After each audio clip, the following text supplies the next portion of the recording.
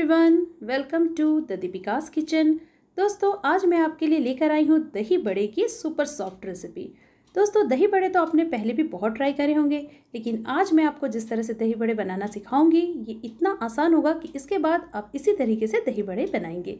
इसमें मैंने कुछ ट्रिक्स बताए हैं तो आपको इसे सारे को फॉलो करना होगा और इतना ही स्वादिष्ट दही बड़े घर पर के बनकर रेडी होंगे।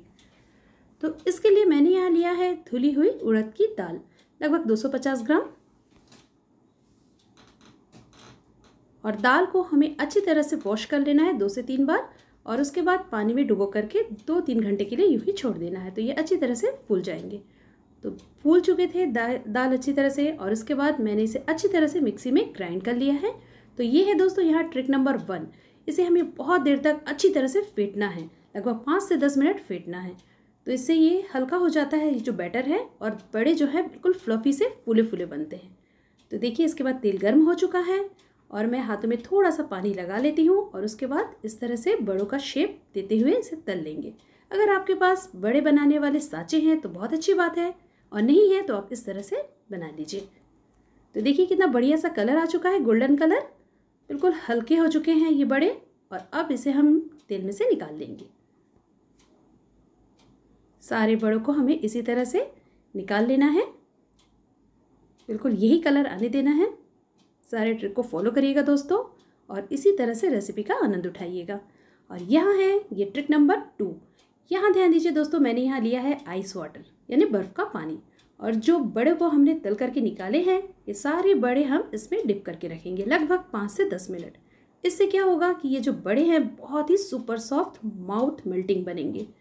और यहाँ मैं यूज़ कर रही हूँ आमचूर की चटनी। तो आमचूर की चटनी बनाने के लिए यहाँ हमने लिया है दो से तीन टेबल स्पून आमचूर पाउडर और इसमें हमको डालना है पानी। पानी डाल देंगे और एक लम्स फ्री इसका पेस्ट तैयार कर लेंगे। बिल्कुल गुठलिया ना हो उसमें। चाहे तो आप इसकी जगह में इमली की चटनी का भी यूज़ कर सकते हैं, लेकिन ये चटनी बहुत ही स्वादिष्ट लगती है और बहुत कम समय में बन करके रेडी हो जाती है। तो इसके बाद पैन में हमें थोड़ा सा रिफाइंड ऑयल डाल लेना है, दो चम्मच और साथ ही थोड़ा सा राई, थोड़ा सा ज़ीरा। बिल्कुल ईजी तरीके से चटनी को हम बनाएँगे। और इसके बाद सूखी हुई जो लाल मिर्च आती है, दो से तीन, इसे हम तोड़ करके डाल देंगे।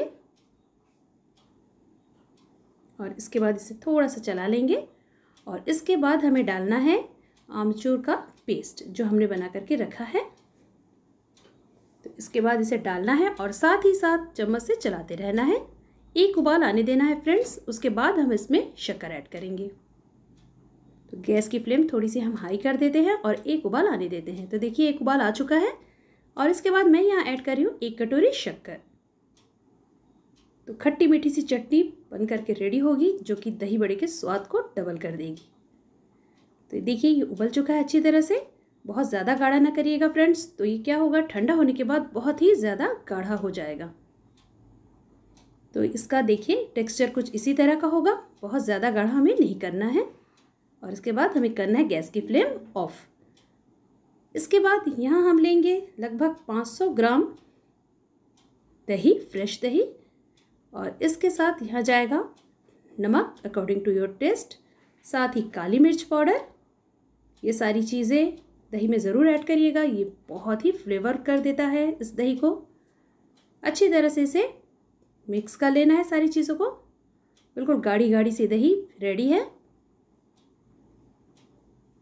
अब देखिए दोस्तों, क्या करना है हमें? जो हमने बर्फ़ में डुबो के रखे थे बड़ों को, हल्के हाथों से थोड़ा सा प्रेस करते हुए पानी थोड़ा सा निकालते हुए, इसके बाद इन सारे बड़ों को इसमें डिप कर देना है। बिल्कुल हल्के हाथों से करिएगा दोस्तों, वरना ये बड़े टूट सकते हैं, ये क्योंकि बहुत ही सॉफ्ट बड़े बने हैं।